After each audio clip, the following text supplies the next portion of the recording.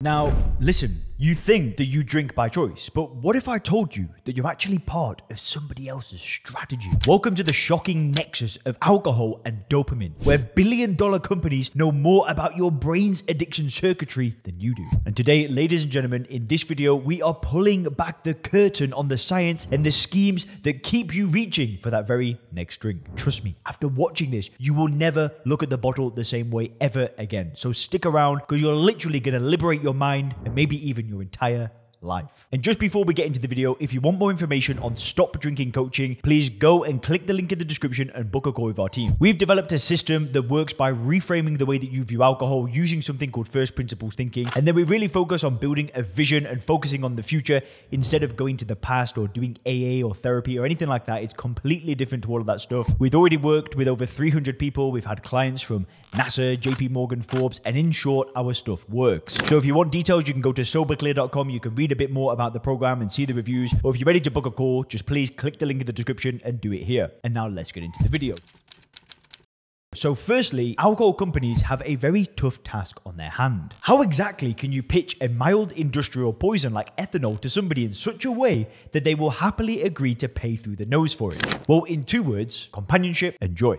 Now, the next time that you see an alcohol advert on TV or in print, pay close attention. Chances are that you'll see a group of friends happily drinking together, having a great time. Lots of smiles, lots of people, and beautiful surroundings. What they're never going to show you is a lonely man sipping away on his sofa in front of the TV. But sadly, that would be far more representative of these companies' actual best customers. See, what alcohol makers do is they invert reality. They want to make you believe that the alcohol is the driving force, the catalyst that allows the average Joe to then go and have fun with his friends. Now, the truth is, people are totally capable of having a good time socially without alcohol. Our brain is literally hardwired to derive pleasure from social interaction interactions. As children, we literally had the best fun of our lives at countless social activities and parties, but we did it without so much as a drop of alcohol. The real reason that we drink alcohol is completely different, and you will never see it mentioned in any alcohol commercial. And it's this. Alcohol hijacks a primeval neuronal circuit in the brain called the reward system. And it's this hijacking that leads us to happily pay through the nose for this mass-produced industrial fool that also doubles up as a mild poison. And in some cases, to the point of completely destroying our health and our life. Now, let's unpack all of this. So, what exactly is this human reward system? Well, there are two ways to answer this. Firstly, you can locate it in the brain. This is exactly what it looks like. Now, I'm going to spare you the anatomy here. For our purposes, what matters is what the brain circuit does to regulate human behavior. Evolution designed this system to encourage us to seek out things in our environment that were beneficial to our survival and reproduction. The so-called natural reinforcers. The main ones being food, especially calorie-rich food, and sex. Other natural reinforcers are water, sleep and social interactions with loved ones. All the things that were beneficial to our survival and reproduction throughout human evolution. Now, the reward system is what makes us crave and seek out things like, for example, a juicy steak or a delicious piece of fruit or even an attractive member of the opposite sex. It links positive emotions to these things, ensuring that we will want to experience them again and again. Of course, this system evolved many thousands of years ago when we were living as hunter-gatherers in the savannas of Africa. Back then, there were no such things as ice cream, potato chips, fizzy drinks, social media, or pornography, which is why there's entire multi billion dollar industries around these products today. See, what all of these products have in common is that they hijack the human reward system. They deliver an easily obtainable but massive supercharged reward upfront, and this makes us seek out more of the same happily shelling out more and more cash. So in the process, we ignore the damage that these evolutionary novelties are doing to our health and well-being. Enter dopamine. So, the chemical that these reward areas of the brain use to communicate with each other is the neurotransmitter dopamine. Now, I should clarify that neurotransmitter is any chemical that brain cells use to actually communicate with each other. So, whenever you experience or even anticipate experiencing a rewarding stimulus, the reward system is activated, releasing dopamine. Compared to other neurotransmitters in the brain, dopamine is minor in terms of quantity. Only around 1% of brain cells use dopamine to communicate. But don't let this 1% figure fool you. Dopamine is critical to the normal function of our brain, our health, and our happiness. And not just for the proper functioning of the reward system. A number of human diseases are in one way or another linked to an imbalance or dysfunction in the brain's dopamine system, the most famous ones being schizophrenia and Parkinson's disease. Now, another area where dopamine plays a prominent role is drug abuse. In one way or another, all drugs that can be abused recreationally stimulate the release of dopamine in the reward circuit. Some, like cocaine and amphetamines directly activate this system. In other words, they directly act on the dopamine containing neurons and stimulate them to release more dopamine. The brain then perceives these drugs as rewarding, leading to the person wanting more. But the drugs, however, act on the reward system indirectly. In other words, they act on remote brain regions which in turn interact with the dopamine reward system. And alcohol is in this latter category. It works by enhancing the function of another neurotransmitter called GABA. And because GABA regulates the activity activity of the dopamine reward system, the end result is an increase in dopamine release. Consequently, activation of the reward system. And the takeaway here is that every time you drink alcohol, you activate this reward system, tricking the brain into perceiving this mass produced industrial toxin as something rewarding and valuable to your survival. Now, until a few years ago, scientists actually believed that the reward system and dopamine are directly responsible for the feelings of pleasure that we experience from a natural reinforcer or a recreational drug like alcohol. But in recent years, they have realized that this is not exactly the case. So, scientists broadly distinguish the subjective effects of recreational drugs into two domains wanting and liking. I kid you not, these are the actual scientific terms that they use wanting and liking. New drug users typically experience both wanting and liking. So, you crave the drug, you take it, you enjoy the way it makes you feel. You want it and you like it. But as any smoker, drug, or alcohol user will tell you, you can have wanting without liking. You feel like you could almost sell your soul for one more cigarette or a shot of whiskey, and then when you actually consume it, you don't even end up enjoying it. Neuroscientists and psychologists today they believe that dopamine is involved more with the wanting than the liking part of the alcohol equation. So, in other words, they believe that the stimulation of the dopamine reward system underlies the craving for a drink. It trains the organism to ascribe positive emotional value to the alcohol, leading to the sometimes irresistible urge to consume it. But the very mild euphoria that comes from a drink is not actually related to dopamine. This liking is probably linked to alcohol's effect on other neurotransmitters, principally GABA and endorphins, which we've covered in other videos.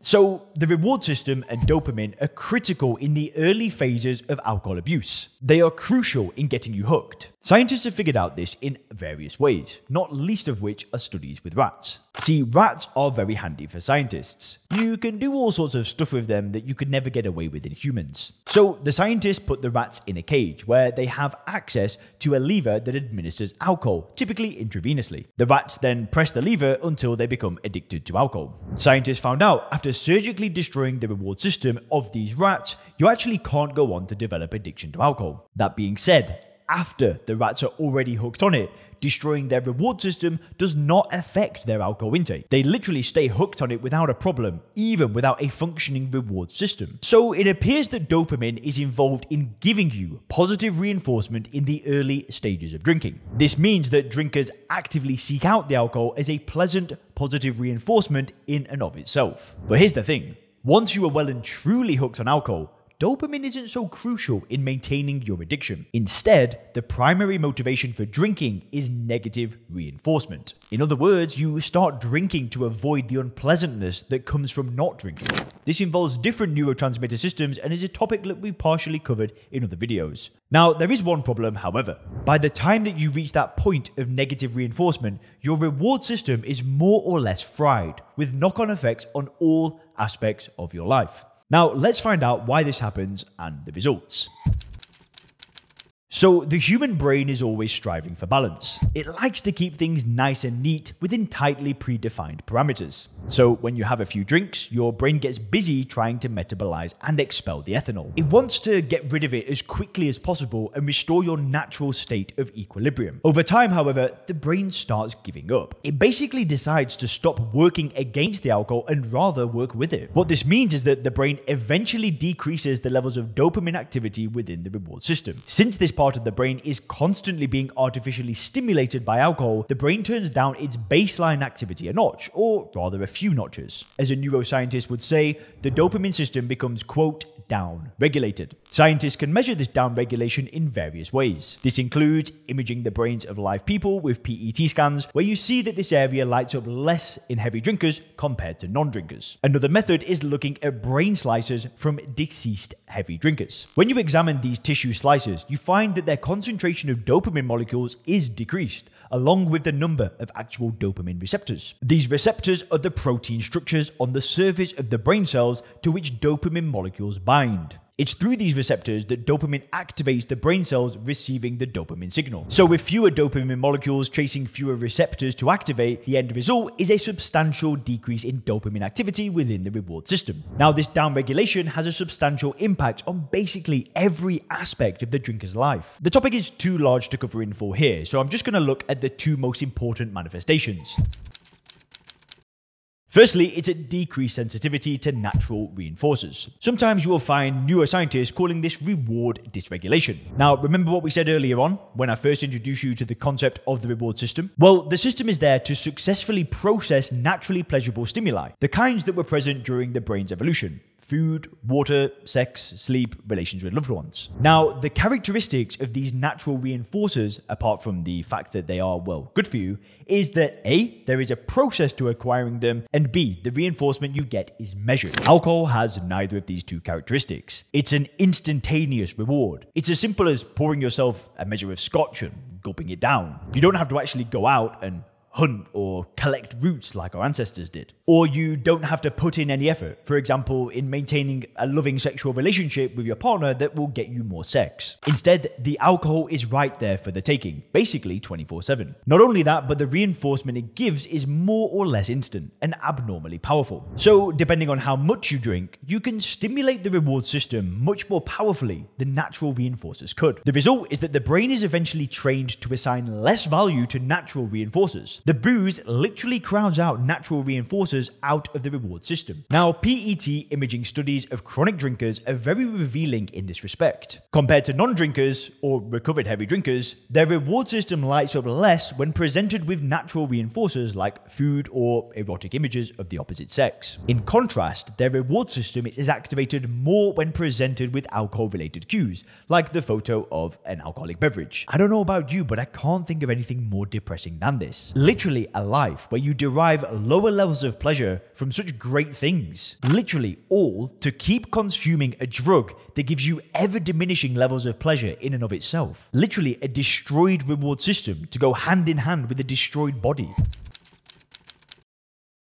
As bad as reward dysregulation is, things can get even worse after you stop drinking, and especially during the early phases of withdrawal from the drug when the artificial boost to the dopamine system is removed and downregulation is then exposed. Scientists call the resulting phenomenon anhedonia. It's a two part term, an meaning without, and idoni meaning pleasure. So, a complete or partial inability to derive pleasure from things. One researcher defined it as, quote, a loss of interest or pleasure in almost all usual activities and pastimes. Anhedonia was first observed in clinically depressed people, as well as those with schizophrenia. But it's also very common among chronic drug abusers, including drinkers. And in heavily addicted individuals who stop consuming the drug, it becomes almost universal. Psychologists break it down into two components. Firstly, motivational anhedonia is when the person has no desire to engage in activities that they once found enjoyable, and consummatory anhedonia is when the person actually engages in the activity but they get little to no pleasure from it. In recovering heavy drinkers, the anhedonia phase will typically last a few weeks. Then the brain will slowly start to recover and the anhedonia will go away. Which brings us on to the final topic in today's video restoring your reward system after you stop drinking. So, what about the recovery after drinking? Well, there is no treatment for a hypo-functioning reward system. Pharmaceutical companies haven't yet come up with a pill that you can pop and magically restore your dopamine levels after chronic alcohol abuse. And the only remedy is time. Just like your reward system got gradually dysregulated with alcohol over time, it will gradually recover once you stop drinking. And the good news is that with enough time, the reward system will make an almost complete recovery, often back to its pre-drinking levels. The recovering drinker will one day notice that for the first time in years, they're enjoying things again. Something simple such as riding a bicycle or playing with their child. Whilst this process naturally plays out, the recovering drinker can be supported by specific types of psychotherapy called activation therapy. This is a very practical, hands-on type of treatment. The person works together with their therapist to slowly reintroduce positive, formally rewarding activities in their life. Things like trying out a new restaurant, exercising, socializing, and so on. As Thomas Jefferson famously said, there is not a truth existing which I fear or would wish unknown to the whole world. And when it comes to your reward system and alcohol, the truth is this. Though for all practical intents and purposes, your reward system will eventually rebound back to its pre-drinking levels, some changes can never be completely undone. And the most striking symptom of this is what will happen if you ever have so much as just one drink. Scientists aren't exactly sure how, but even after years, after decades of abstinence, the reward system of recovered drinkers will process the drink in a completely different way to non-drinkers. The reinforcement that they derive from that one drink will be immense, and their alcohol-seeking behavior will come back with a vengeance. Just like that, and all the years of sobriety will then count for nothing. In a very subtle but irreversible way, you can always be a tiny bit different from somebody who never drank. If you click the video on the screen now, you can learn why a drinking problem exists with a totally new system for you to gain control.